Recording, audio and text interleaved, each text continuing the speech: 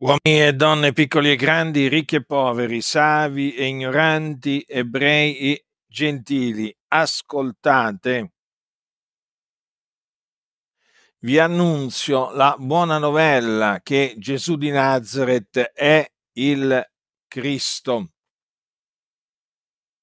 Non è una buona novella qualsiasi, ma è la buona novella la buona novella di Dio, la buona novella che Dio, per mezzo del suo figliolo Gesù Cristo, ha ordinato che venga predicata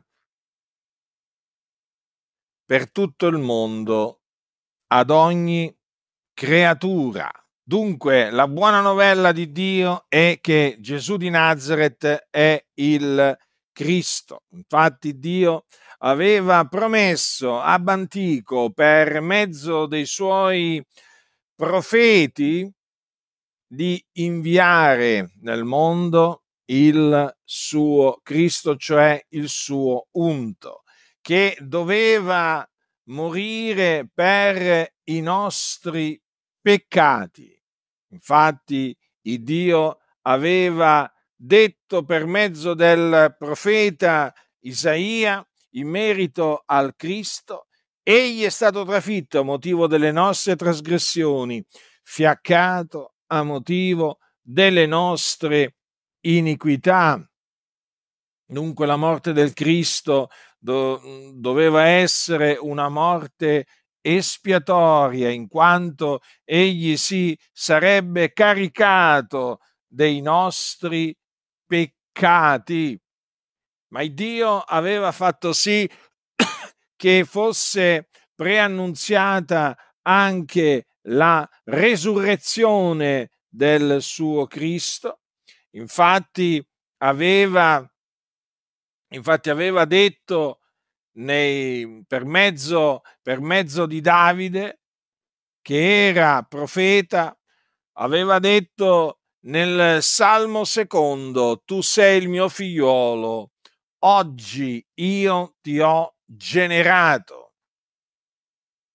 E non solo, aveva detto per mezzo di Davide ancora, aveva detto in un altro luogo, tu non permetterai che il tuo santo vegga la corruzione. Dunque, considerate attentamente che anche la resurrezione del Cristo era stata annunciata da Dio molto, molto tempo prima che Gesù Cristo venisse nel mondo. Ebbene, le scritture profetiche concernenti il Cristo, io vi annunzio, si sono adempiute in Gesù di Nazareth. Di Nazareth perché egli fu allevato a Nazareth, una città della Galilea. Dunque, vi annunzio che Cristo è morto per i nostri peccati secondo le scritture. E fu seppellito che risuscitò dai morti il terzo giorno secondo le scritture e che apparve ai testimoni che erano stati innanzi scelti da Dio, i quali lo videro veramente risuscitato parlarono con lui, mangiarono e bevvero con lui dopo la sua resurrezione. Dunque, questa è la buona novella, cioè l'Evangelo. L'Evangelo che è potenza di Dio per la salvezza di ogni credente, del giudeo prima e poi del greco, poiché in esso la giustizia di Dio è rivelata da fede a fede, secondo che è scritto, ma il giusto vivrà per fede. Dunque dovete sapere questo, che credendo nell'Evangelo l'uomo viene giustificato. Giustificato, sì, cioè viene rivestito della giustizia di Dio, ottiene la giustizia di Dio che viene dalla fede. E quindi Dio lo dichiara giusto, lo rende giusto. Dunque dovete sapere questo, che voi che siete dei peccatori, che siete sotto il peccato, dovete sapere che solamente credendo nell'Evangelo potete essere giustificati, resi giusti. Non c'è un'altra maniera, non potete essere giustificati mediante le opere della legge, assolutamente, perché eh, se Cristo, se, se la giustizia si ottenesse per mezzo delle opere della legge, Cristo sarebbe morto inutilmente, ma Cristo è morto invece per i nostri peccati, caricandosi dei nostri peccati e quindi è credendo in Lui che si viene giustificati. La giustificazione dunque è per grazia, mediante la fede. Non illudetevi, potete sforzarvi quanto volete, eh? Eh, potete potete fare tutte le opere giuste che volete, ma non sarete giustificati per le opere. Continuerete a rimanere dei peccatori agli occhi di Dio. L'ira di Dio continuerà a rimanere sopra, sopra di voi. E quindi continuerete a rimanere sulla via della perdizione pensando appunto di potervi giustificare da voi stessi. No. Voi pensate di stabilire la vostra propria giustizia e quindi pensate di rifiutare la giustizia di Dio che viene dalla fede? Ebbene, dovete sapere questo, che sarete condannati. Quando, quando morirete, ve ne andrete all'inferno, perché morirete nei vostri peccati e quindi ve ne andrete in questo luogo di tormento dove arde il fuoco e dove sarete tormentati. Considerate questo. Perché? Perché avrete preferito stabilire la vostra giustizia, che agli occhi di Dio è un abito lordato, un abito sporco, e avete, avrete preferito la vostra giustizia alla giustizia di Dio basata sulla fede e che è rivelata appunto nell'Evangelo che vi ho annunziato. Quindi io vi esorto nel nome del Signore a ravvedervi, a credere nell'Evangelo, perché il giusto vivrà per fede. Lo ribadisco questo perché molti oggi pensano di poter essere giustificati facendo opere buone. Ma questo è un'illusione, un inganno. Per essere giustificati dovete credere nell'Evangelo perché Dio ha stabilito che il giusto vivrà per fede. Lo ripeto, è Dio che l'ha stabilito, non è che l'ho stabilito io. Io ve lo comunico, ve lo trasmetto, ve lo proclamo, ma è Dio che ha stabilito che il giusto vivrà per fede.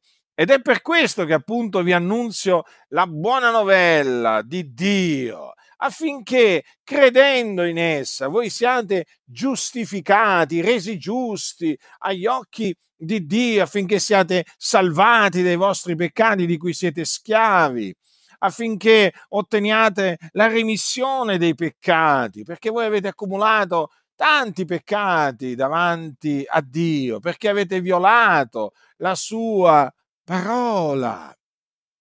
E la violazione della sua legge costituisce un debito e questi debiti gravano sulla vostra coscienza e credendo nell'Evangelo eh, sare- otterrete anche la vita eterna. La vita eterna, considerate questo, perché la vita eterna è il dono di Dio in Cristo Gesù.